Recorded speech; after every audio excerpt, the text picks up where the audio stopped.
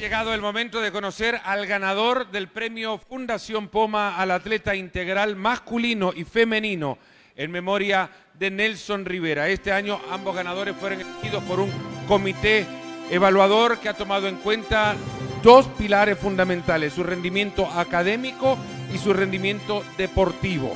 Conozcamos al ganador del premio Fundación Poma al atleta integral masculino en memoria de Nelson Rivera para la edición 2022. Nos acompaña para entregar el premio, el primero de los seis premios que se entregarán en esta gala, el licenciado Alejandro Poma, vicepresidente de la Fundación Poma. El ganador del premio Fundación Poma al atleta integral masculino en memoria de Nelson Rivera 2022 es José Alberto Rivas Leiva Judo.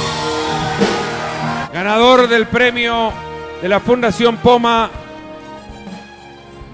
Nelson Rivera, al atleta integral, subcampeón nacional categoría senior en el 2020 y en el 2021. Por eso está acá también, pero al mismo tiempo dueño de un promedio de notas de 9.22 en su año educativo. Y llegó la hora de entregar el premio Fundación Poma al atleta integral femenina en memoria a Nelson Rivera en esta edición 2022. Nuevamente queremos invitar a que nos acompañe para hacer entrega de este segundo premio especial en esta noche al licenciado Alejandro Poma, vicepresidente de Fundación Poma.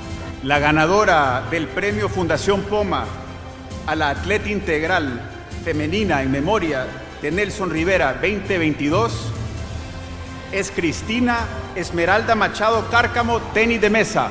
Muchísimas felicidades, Cristina. Aquí el reconocimiento de todos los presentes a través de los aplausos. Una atleta destacada. Promedio de notas institucional 945. Y ahí está el esfuerzo del sacrificio la entrega para vivir una vida equilibrada e integral, atleta y estudiante. Un promedio, ya lo decía Luciana, 9.45. Está en la selección nacional mayor de tenis de mesa, undécima ranqueada a nivel nacional.